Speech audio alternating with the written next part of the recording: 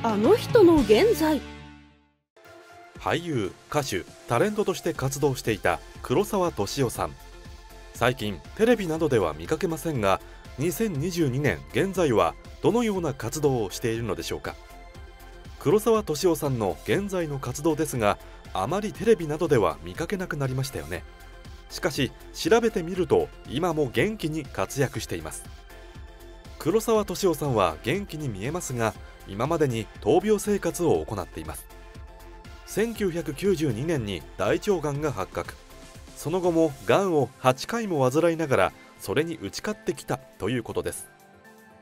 今ではトレードマークのニット帽も大腸がんが発覚した時に抗がん剤で髪が抜けるのをカモフラージュするため髪を短く刈り込んだからということです。そんな黒沢敏夫さんですが死亡説なんてものもありますが今も元気です。就活も済ませていてもう葬式も済ませたということ。財産は家が2軒あるだけで他にはない。家はお嫁さんとの共同名義で死んだら妻のものになりやがて娘に渡っていくことになるということでした。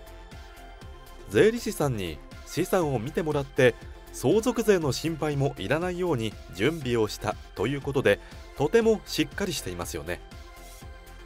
葬式も済ませているということですが比叡山延暦寺阿弥陀堂に夫婦の位牌があるそうです。自身がしっかりとみんなを養わないといけないから今できることをやっておきたいということだったそうです。現在はテレビ出演は減りましたが今も俳優歌手として現役です。最近は日本各地でコンサートや公演を行っているそうなのでだからこそテレビ出演は減っているのでしょうね。また年齢も80歳近いですし仕事を目いっぱいということではないようです。テニスやゴルフ愛犬との散歩など自分の時間を大切にしているということ。若い時に働いてしっかりと稼いでしかも就活も終わらせているということであとは悠々自適の生活を送っているのでしょう。とても羨ましい生活を送っていますよね。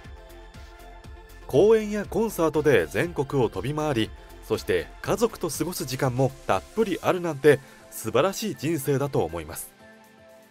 今でもブログなどを更新していますしそこで黒沢敏夫さんの考えも分かりますよ。今後も元気な姿を見せてほしいですが無理をせずに頑張ってほしいですね。最後までご覧いただきありがとうございました。